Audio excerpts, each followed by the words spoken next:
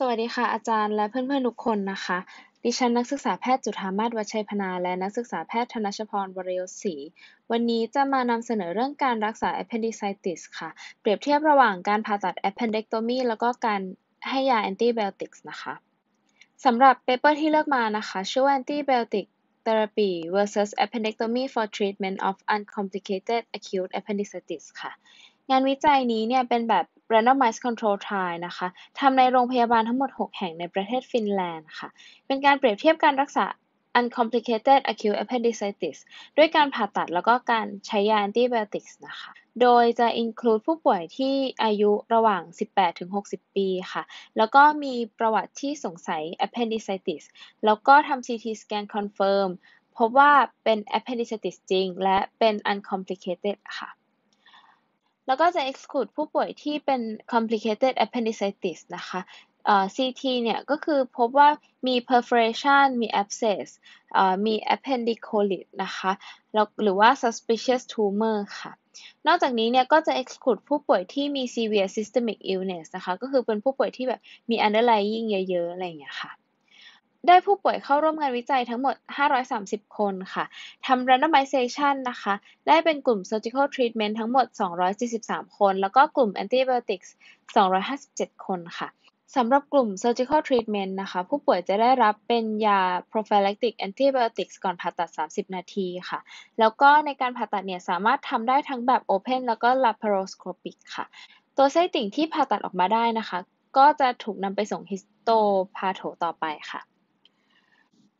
สำหรับกลุ่ม antibiotics นะคะ จะได้รับเป็น ertapenem 1 กรัม IV 3 วันค่ะ หลังจากนั้นจะได้รับเป็น levofloxacin กับ metronidazole อีก 7 วัน รวมกันเป็นทั้งหมด 10 วันค่ะ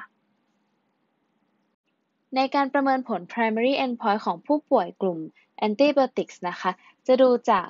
การหายจากการเป็น appendicitis ค่ะ การที่สามารถดิชาร์จจากโรงพยาบาลได้โดยที่ไม่จำเป็นจะต้องได้รับการผ่าตัด และ การที่ไม่ได้เป็น appendicitis ซ้ำระหว่างการที่ follow up ค่ะสำหรับกลุ่ม appendectomy นะคะ ก็จะดูความสำเร็จของการผ่าตัดค่ะสำหรับ secondary endpoint นะคะ จะประเมิน complication ค่ะ เช่น wound infection หลังผ่าตัด ผลข้างเคียงของ antibiotics หรือว่า bowel obstruction ค่ะ ที่เกิดจาก adhesion หลังผ่าตัด นอกจากนี้ก็จะดูเป็นการกลับเป็นซ้ำของ appendicitis ค่ะ ระยะเวลาที่ ใช้ในการรักษาตัวที่โรงพยาบาล ระยะเวลาที่ใช้ในการลางาน เพนสกอร์ แล้วก็การใช้ยาแก้ปวดค่ะ จากการวิจัยนะคะ ก็คือสามารถสรุปได้ว่า success rate ของ appendectomy เนี่ย จะอยู่ที่ 99.6%ค่ะ ในขณะที่การรักษาด้วย antibiotics ก็คือ success rate จะอยู่ที่ 72.7%นะคะ พบว่ากลุ่ม antibiotics เนี่ยก็คือจะมี success rate ที่น้อยกว่า แต่ว่าดูแล้วเนี่ยไม่มีนัยสำคัญทางสถิตินะคะสำหรับ secondary endpoint นะคะ พบว่า surgical group มี overall complication และระยะเวลาที่ต้องลางานนานกว่ากลุ่ม antibiotics แบบ significant ค่ะ เนื่องจากการผ่าตัดทำได้ทั้งแบบ laparoscopic แล้วก็ open นะคะ ก็พบว่า ผู้ป่วยที่ได้รับการผ่าตัดแบบ laparoscopic จะมีอาการปวดระยะเวลาที่นอนโรงพยาบาลและ complication จากการติดเชื้อของแผลน้อยกว่าการผ่าตัดแบบ open ค่ะจากการศึกษาของงานวิจัยนี้นะคะ ก็ยังไม่สามารถสรุปได้ว่าการ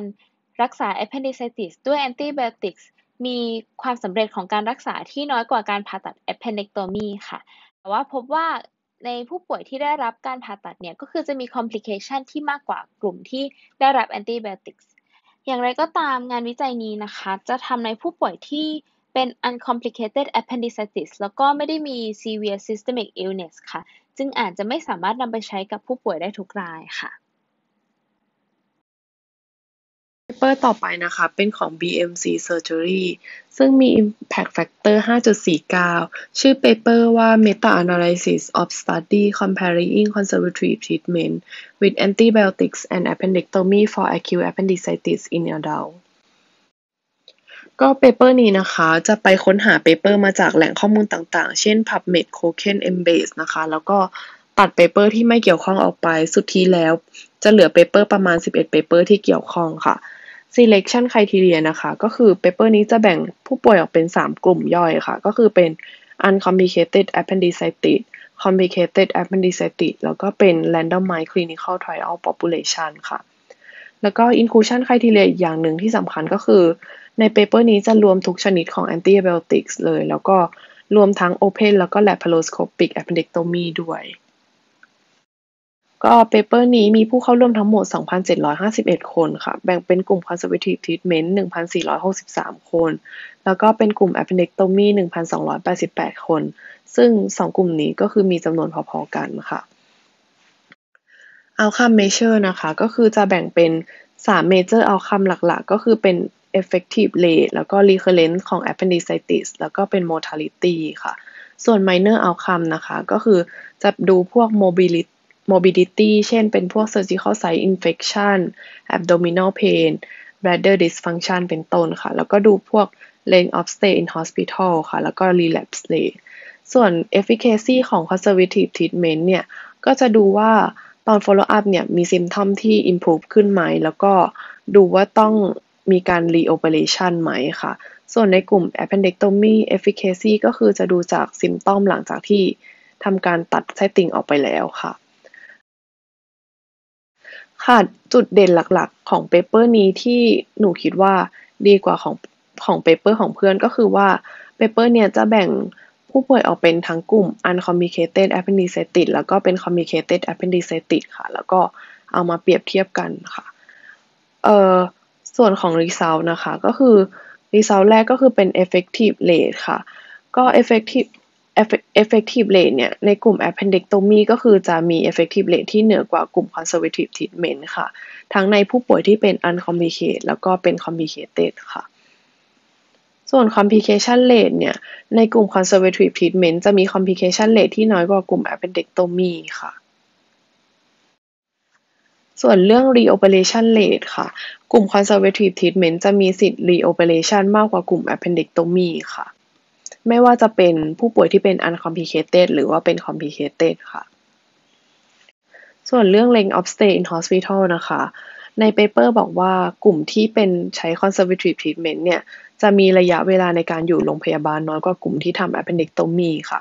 แต่ว่าต่างกันประมาณ 0.47 วันค่ะ ก็คือกล่าวคือก็ประมาณครึ่งวันค่ะ conclusion นะคะ ก็คือเปเปอร์เนี่ยสรุปว่ากลุ่ม appendectomy เนี่ยมี effic efficacy ที่ดีกว่ากลุ่ม conservative treatment แล้วก็มีโอกาส reoperation น้อยกว่าค่ะ แต่ว่าข้อดีของ conservative treatment ก็คือมี length of stay in hospital ที่น้อยกว่าค่ะ แล้วก็มี complication rate ที่น้อยกว่าค่ะ